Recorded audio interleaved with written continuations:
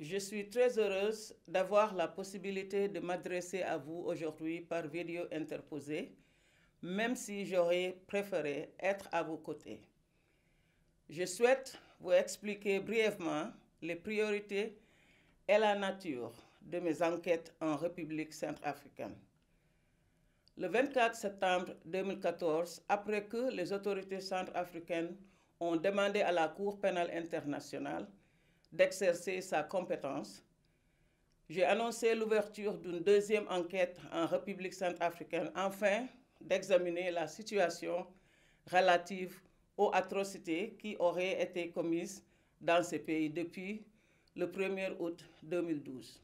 Mon bureau mène des enquêtes qui reposent toujours sur des éléments de preuve en toute indépendance et impartialité. Nous avons enquêté parallèlement sur les allégations de crimes commis par les deux parties au conflit, la Seleka et les Anti-Balaka. À ce jour, trois personnes ont été arrêtées et sont accusées d'avoir commis des atrocités sur la base des éléments de preuve recueillis au cours de l'enquête menée par mon bureau. Il s'agit des personnes suivantes. M. Alfred Yakatom, membre de Anti-Balaka, qui a été arrêté en novembre 2018. M. Patrice Edouard Ngaï Sona, membre de Anti-Balaka, qui a été arrêté en décembre 2018. Le procès à l'encontre de M. Yakatom Ngaï Sona doit s'ouvrir prochainement. La troisième personne, M. Mohamed Saïd Abdelkani, est un membre de la Seleka qui a été arrêté le 20 janvier 2021. M. Saïd a déjà comparu pour la première fois devant les juges de la Cour pénale internationale qui doivent à présent décider, lors d'une audience, s'il y a lieu de le juger dans le cadre d'un procès. Il s'agit de l'audience de confirmation des charges qui a été fixée au 5 octobre 2021. Au-delà de ces trois suspects, mes enquêtes en République centrafricaine se poursuivent. Nous continuons de réunir des éléments de preuve relatifs aux crimes commis en Bangui et ailleurs et de chercher à identifier les principaux responsables de ces crimes.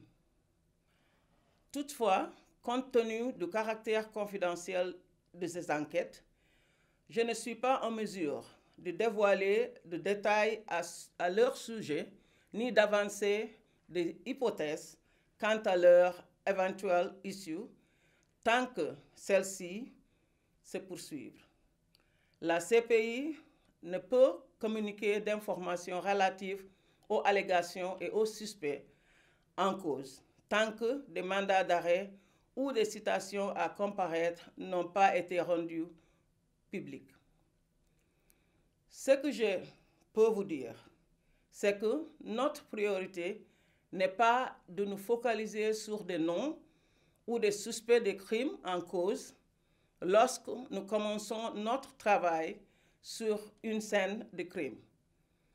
Nous nous concentrons d'abord sur les crimes en question et nous analysons les faits au cours desquels ces crimes auraient été perpétrés. Nous réunissons ensuite des informations relatives à ces faits et nous tentons de recueillir des éléments de preuve sans parti pris et sans nous laisser influencer par quiconque.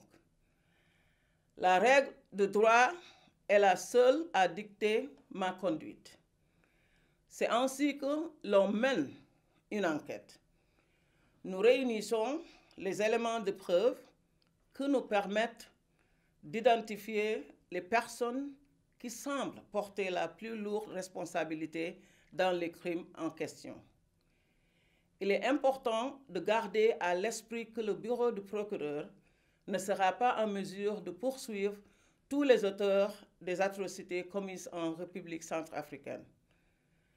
Les efforts déployés par la CPI, les autorités nationales et la Cour pénale spéciale ont pour finalité de traduire en justice les auteurs de crimes commis en Centrafrique, chaque entité ayant un rôle distinct. De cette façon, nous œuvrons ensemble pour veiller à ce que les auteurs de ces crimes graves rendent des comptes à la justice et à ce que la souffrance des victimes puisse être reconnue. Chacun agit à son niveau pour atteindre un objectif commun. Rendre justice aux victimes d'atrocités.